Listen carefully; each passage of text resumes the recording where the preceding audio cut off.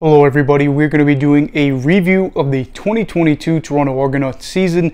Uh, so if you are new, please make sure to subscribe. If you're new to me, new to the CFL, whatever the case may be, I'd love to have you here along the way as I try to do this as a career. That being said, let's talk about Toronto season. Going into this season, myself especially, I felt like Toronto was a team that might have overperformed in 2021. They weren't a team that was really probably going to blow you out of the water, especially if you're a good team. They were probably going to struggle to beat you. And early on in this year, it looked like that might be the case. So they get their win where they barely scrape by. They get a Boris Bede field goal late, or a David uh, Cote missed field goal. I can't remember what happened there uh, late in that game. So they beat Montreal good win, I guess, because Montreal was a playoff team the season prior but they weren't one of those dominant teams in the league. The next week, they end up getting absolutely pumped by the BC Lions, 44 to 3. That is really where I started to say, yep, I had some concerns. I had some concerns, so this is exactly where we were headed. Things go on a little bit, but there's some highs and some lows. I look at this season for them. They dealt with some injuries, like every team does. Andrew Harris was not the Andrew Harris that we were expecting him to be, that he has been. So they kind of rolled around with their backfield a little bit. Uh, had AJ Ouellette, but the big thing for them was being able to have Kurleigh Gittens Jr., DaVaris Daniels, other guys like that on the offensive end, and then Jamal Peters on defense. Of course, he's not there with the team anymore as he signed with the Falcons, I believe.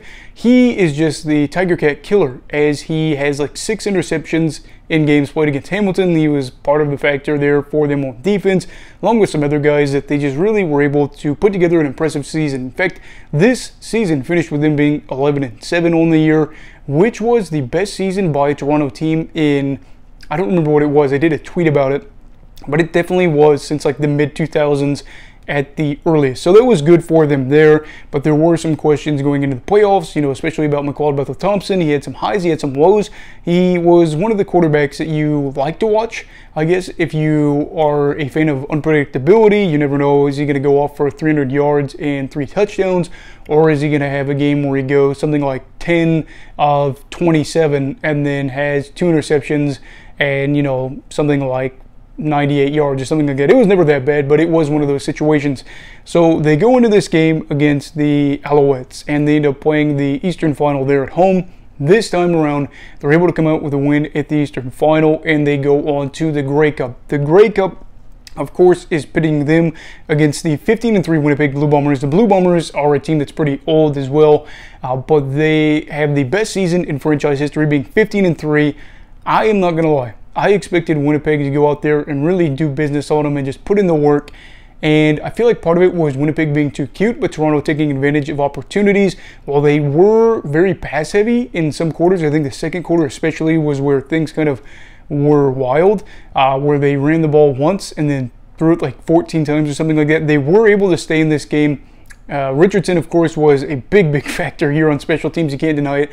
And even Chad Kelly, the guy that looks like he'll be Toronto's starter this year, played the hero as MBT, went out with a hand injury.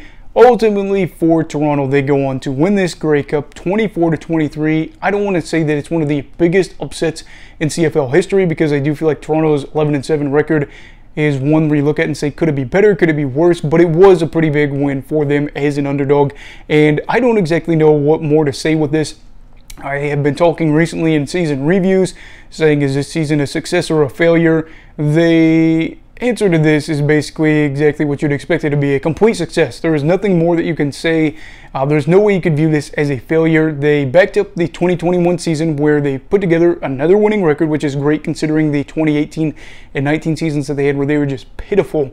Uh, but they backed up another winning season with another winning season. They won the division out east yet again. They had their best season in probably 15 to 20 years. They go on to get another playoff win, which is great for them. And then, of course, they go on to have an absolutely massive performance in the Grey Cup that we will be talking about for years. Maybe it wasn't one where they were dominant because they definitely weren't, but they were able to stay in it.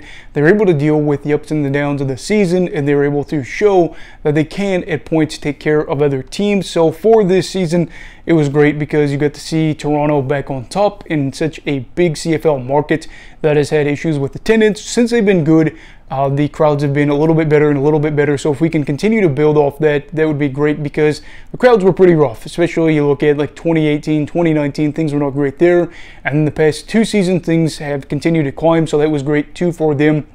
They feature a lot of guys coming back. Wynton McManus is one of them too. Uh, Henoc Muamba, they have Jordan Williams now, which is going to be great. So we're going to talk about all that in our season review or preview, I should say, for them here in a couple weeks. But this is the review for the 11 and 7 Grey Cup winning Toronto Argonauts as they continue to not lose in the Grey Cup. That has become a tradition for Toronto as of late, and this was about as good as it gets for them. So, what are your thoughts on Toronto's season? Is it a success? If you have it being a failure, I need to know why, uh, but leave your thoughts down below in the comments. Also, please make sure to like this video if you enjoyed it, subscribe if you're new. Everybody stay safe and have a great night.